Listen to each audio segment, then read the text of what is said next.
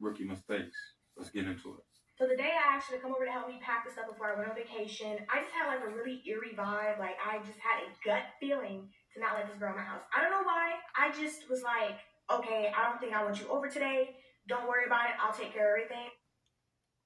So I texted her. I was like, you know, don't worry about coming over, and she was just like kind of persistent, like, uh, I please, I need the money type shit or whatever. I was just like, you know, no, it's okay. I got it taken care of. So later that night, like around 10 p.m., I'm packing up the orders. I hear footsteps by my front door and I hear like crying at my door. I'm like, okay, what the fuck going on? So I get up, I put my ear to the door, I hear little noises by the door. So I look at the peephole, I see two men masked up trying to break in my shit. So I go back to my room, call 911, I grab my muscatel and headed back towards the front door.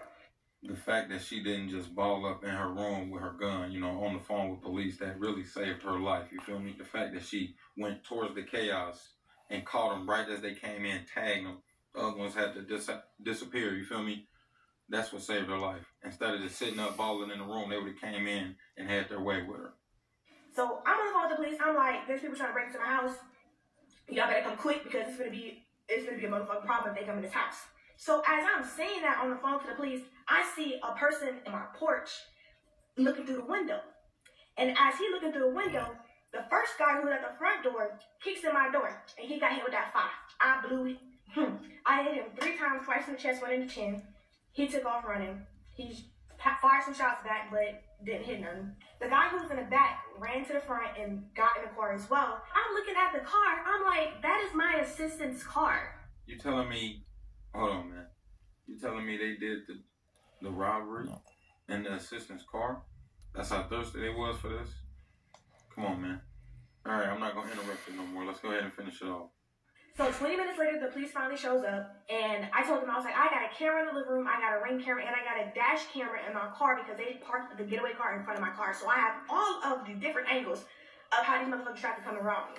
So they were like, you need to go to the hospital because it was a blood trail. I was like, no, I didn't get hit. That's their blood. You need to be looking out for them because I definitely hit one of the guys three times. So boom, fast forward to the next day, she texted me again and was like, hey, Bree, I heard what happened.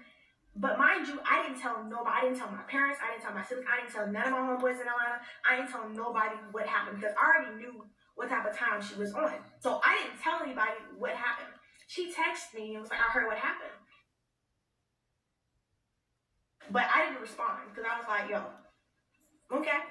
Like I, I see I see what's going on. Say less. They dropped one of the guys off at the hospital. He ended up dying from the injuries. And then five days later, she got pum pumed up on a highway. And that case has not been solved yet.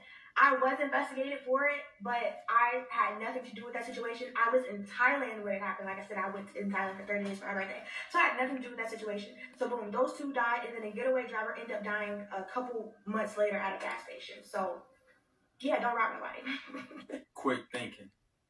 Very quick thinking.